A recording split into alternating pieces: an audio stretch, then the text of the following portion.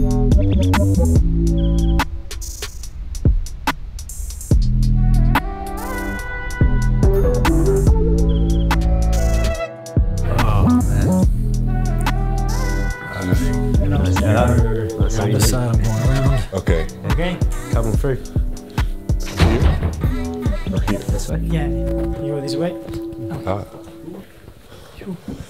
You need help? no, I got it, brother. Appreciate it, though. There we go. Brilliant. Thank you all for coming. Got a great setup here, and today it's a table talk talking about healthy habits. And uh, first of all, I think what we need to do is define what health is. It's a sign of your physical, mental, and social health well-being, and trying to maximise that as much as possible, not just not having a disease. And then following on from that, healthy habits are, are a series of behaviours which are beneficial to someone's health and um, physical well-being. But it's a combination of routines and looking at areas such as your eating, sleeping, resting, and socialising as well. So looking at all those factors.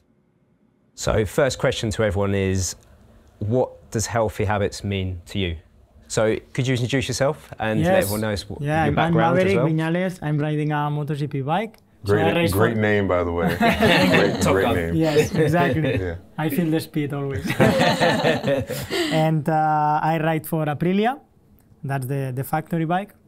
And uh, for me, healthy habit means, you know, peace of mind. To be uh, well rested for me is trying to find this, this peace of mind, which it gives you also a room, you know, also to, to become more focused when it's the time to, to be on, on the track.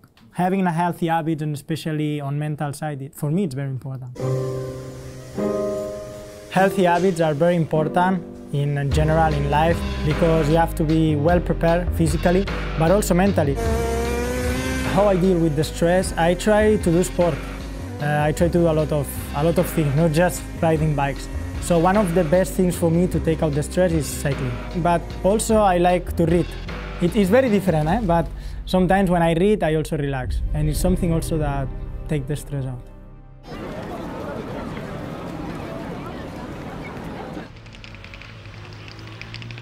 My name is Patric Young, 30 years old from Jacksonville, Florida.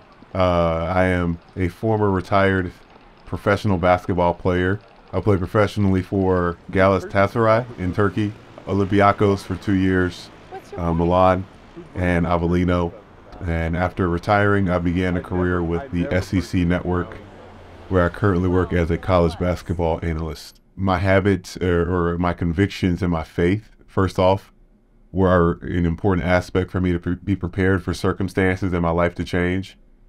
Um, I've understood that um, having my identity already rooted in things greater than just what I can do and uh, being able to have the lens of gratitude in my life prepared me for when life was going to change or if things were, the circumstances were to change because you know, no one can really prepare exactly for uh, such a life change as getting in a car accident and being told you may never walk again.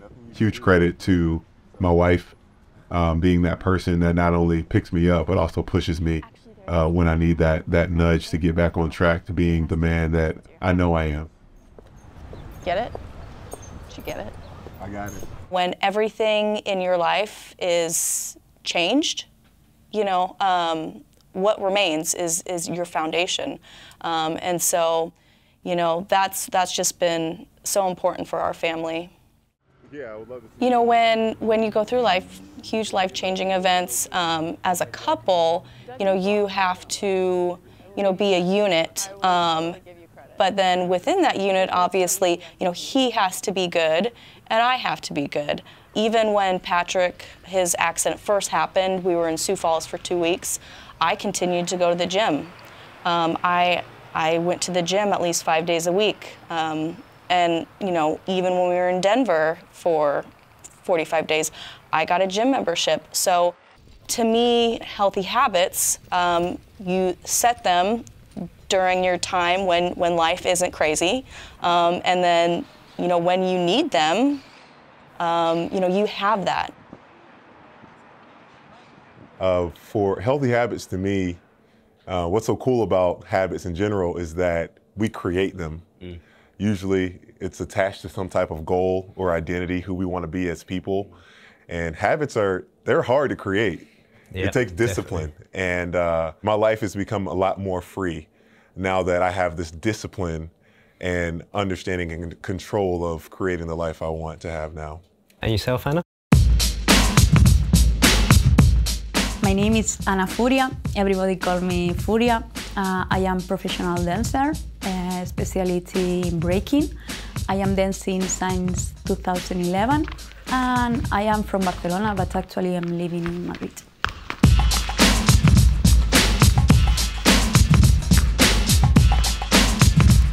When I dance, I feel free.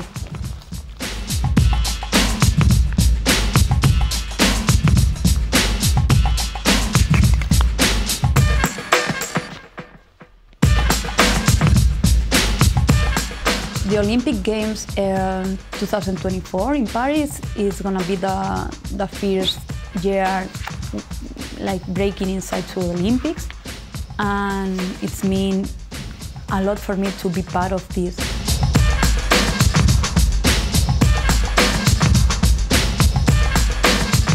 When I am feeling like I am eating right and I am sleeping the, the time I need it, I, I really feel my body completely in peace and harmony with everything. And my energy, I think it's more clear too. A happy body means a happy mind. Exactly. completely. Well. Completely. Yeah. Yeah, yeah. And yourself, Kyle? Well, I think the first thing that everybody thinks about when you say a healthy habit is nutrition. Mm. But uh, I agree that it's important, but I think the thing that's becoming even more important now is just the mental aspect of everything. And when I was going through all my surgeries and all my recoveries, uh, mentally, I was so far ahead of where I was physically mm. that I just propelled myself to get back even quicker. Yeah. Um, so I would argue that just being mentally ready and focused on what you're trying to do can can overcome any physical limitation that you're having at that point. Um, you know, professionally and for personally, uh, I really had to take a specific look at food and what I was eating, how I was eating, and how much, just so I could build my body back up and then to try and keep um, some consistency in how my body was reacting and uh, recovering. And um, it not only helped me physically, but mentally, I had to become a lot stronger, and it propelled me to return back to playing a lot quicker than doctors had told me. Uh, so it was a really overall positive experience that helped me grow a lot.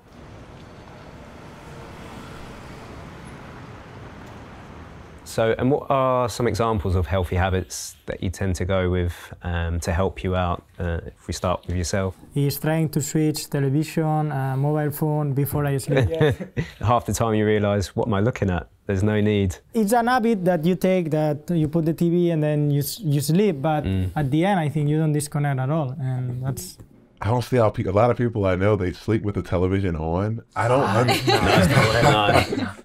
Sounds stressful. A healthy habit that I've picked up recently is journaling. Simple, simply answer three three questions. How are you feeling?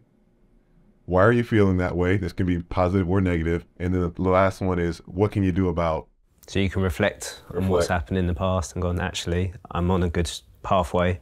I'm seeing some change, mm-hmm. and that makes a big difference. Makes a huge difference, yeah, absolutely. Yeah. Just uh, having that because sometimes you can't always talk to somebody like a therapist or whatnot, which yeah. I highly I'm pro therapy. Yeah. Uh, but that writing down has been like therapeutic for me. Yeah. No, it is important to know about yourself because mm. sometimes we try to help others, but we never think about ourselves and trying yeah. to understand what we need or how we are. Letting go of the ego and allowing yourself to change, and you exactly. can see yourself develop. Mm-hmm. Yeah. Um, for me, I cut a little bit my social life. okay. Just, just a bit. a little bit. Like um, in this high level, I can keep this lifestyle. I'm trying to wake up early and push a lot of hours practicing. It's not healthy for my body, and I can do it. What I've started changing is when I wake up in the morning, is not going straight to the social media. Mm. I do take the phone, but I do it for meditation. Okay, nice. So you still use it, but you kind of get nice. uh, you know a better wake up, and it started to really help me just uh, stay focused and be present and where you are. In the moment. Yes. And Are there things that because of the routine that you have that you feel you're not you're sacrificing in a way? As an athlete, I feel that when you take something as a routine, it's complicated to go away. It's hard to come back, but I also think that it is such a long season that after the long season, you need a break. Yeah, So of course, you have to. you Completely. So I take, you know, that Yes. week where I eat anything. You know? It doesn't matter, like, because I don't eat ice cream or candy or all the sweets during the season, but that one week on vacation with my kids, Oh yeah. I'm Yeah. eating more ice cream than they are. You're making up for it. But then after that one week, it's like, okay, I've had enough. I want my mm. body to come back to, Yeah, to exactly. reality and, and go Yeah. back to my routines. when you're racing, like what's your training regimen like to push your body in? Normally, I, I like to cardio. Cardio sports are important for us, but it is important not on the bike because at the end of the bike you don't need a lot of cardio. But lower the heart rate is, better you can think. But I can do I don't know I can do gym everything that when you go again on the season, the first days are, are yeah, pain here, here, everywhere. You know I can do everything, but at the end, bike need bike. For myself, my non-negotiable, my healthy habit is I need eight hours sleep. That's that's what I need. If I don't get my eight hours, I can't perform in my job the next day. However, when it comes to weekends, I tend to relax, have a drink, maybe not have the healthiest diet, but coming back to then on a Monday, back to my routine. That weekend is my release valve, and I, I, I allow myself to have that, but I'm not an elite sports person for yourselves, what are you missing in terms of your general life that your friends might be doing that you feel like, I wish I was doing that, but I can't because I'm in this environment at the moment now? You know, like in summer especially, I have competitions still. And so I see a lot of people in vacations, in special place, and I was like, yeah, I need to be there. but I can't, I need to be focused on my way. So this sometimes make me feel like, damn, I miss this. But You know, when I'm in season, I, I have such, you know, strict routines that I stick to it. And I think it's maybe a little bit too obsessive to where my wife would be like, let's go to lunch. No, I can't go to lunch. Because I don't know what they're going to cook and how many ounces my chicken's going to Yeah, be. And yeah. so I like to be very strict. Uh, but like you said, my release is my off day. Yeah. Is I sleep in later than normal. I have something different for lunch and try to enjoy, you know, what I'm working so hard for. For me, it's curious because when I want to release all the stress, I go with the bikes. So. That's your stress relief. Back yes, on the for me, it's very curious because at the end, I love this sport. You know, I love because I'm doing it since I'm a kid, and it's my joy. Uh, I guess for me, uh, in this period of my life, my recovery during my journey is like the most important thing. And I'm so grateful for my wife in this time because she will like she will challenge me and make sure that I'm prioritizing that. You know, I realize I look at the big picture, and especially like for my daughter, she's she saw me before my accident, and then she sees me in the middle, and I'm just thinking like to to get back to walking again the witness and the strength and that she's going to have it for, for my wife i'm like i got to just keep staying committed to this because it's not about the short term.